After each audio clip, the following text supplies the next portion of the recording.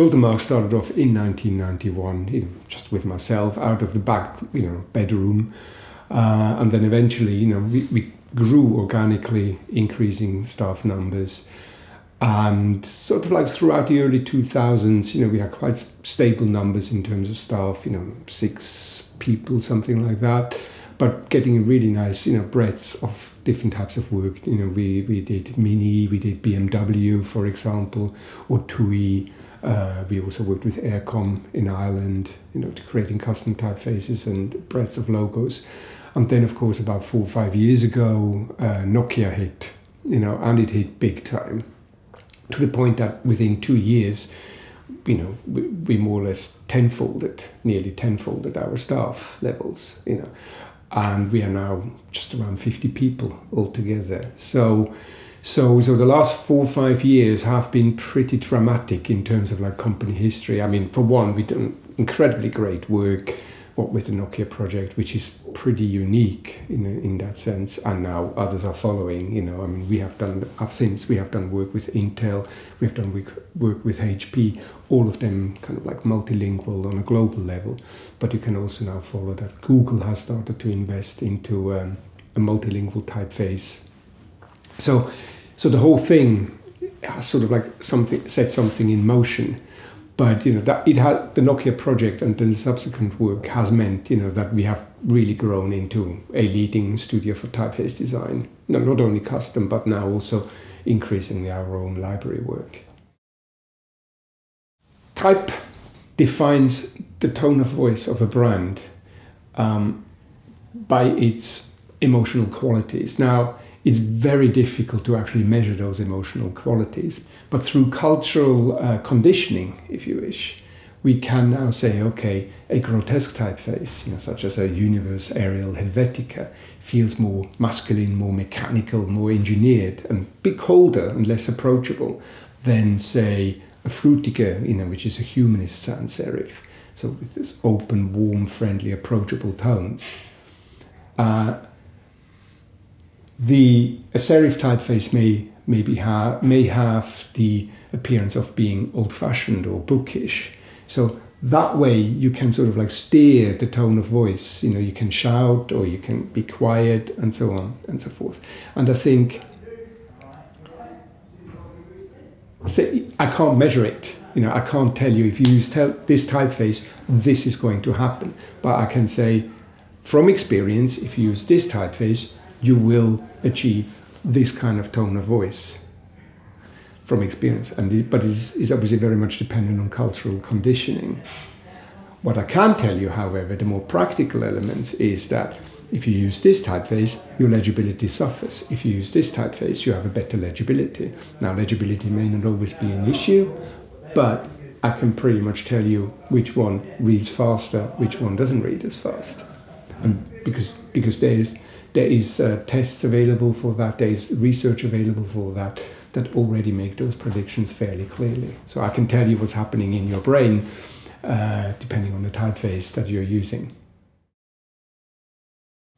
Thoughtful and intelligent design is, is it's, it, in my opinion, is design that has a solution in mind. It's, it's not self-serving, it's not about art, it's, it's, it's about addressing a need.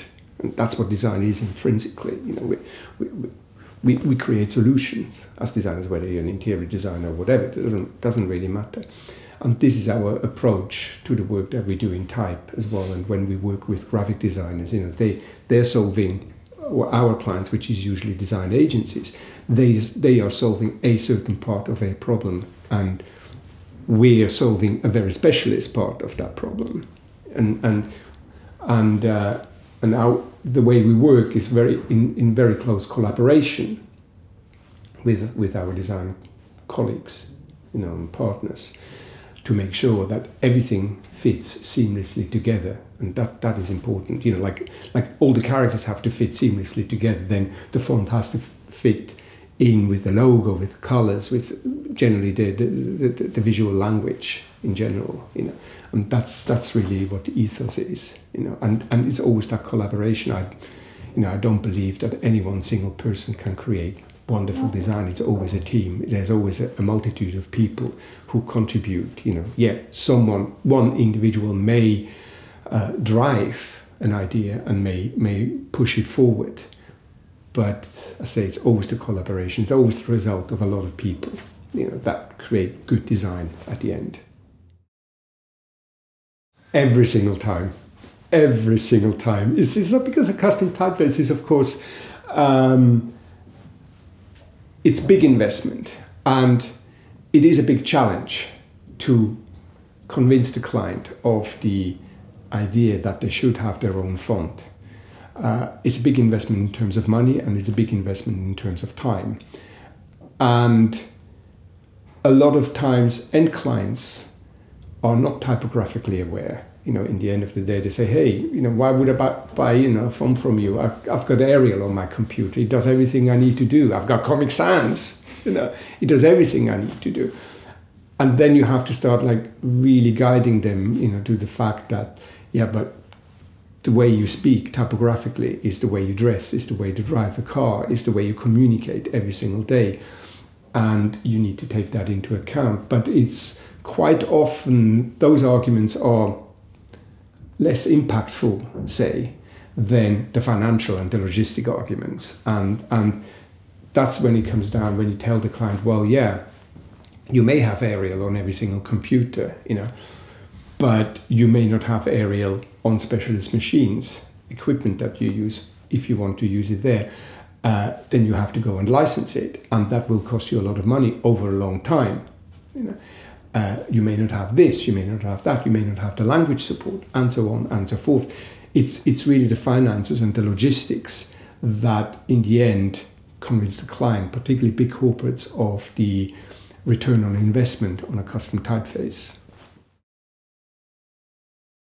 Nothing in terms of scale and propor- proportion will ever compare to Nokia.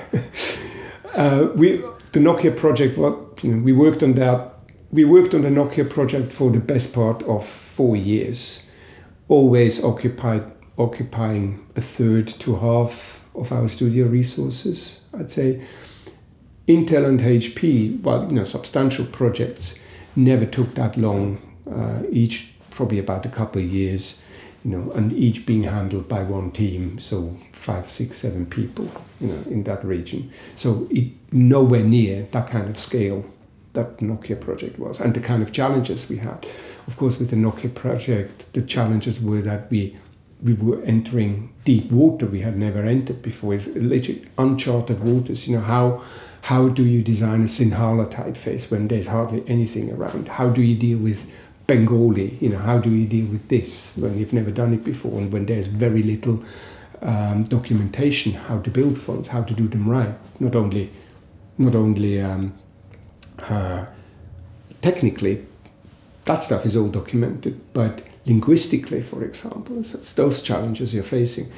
But the Nokia project allowed us to build the systems. So every work, every piece of work that followed, obviously, we were able to deal with far more competently, far quicker, far more efficiently.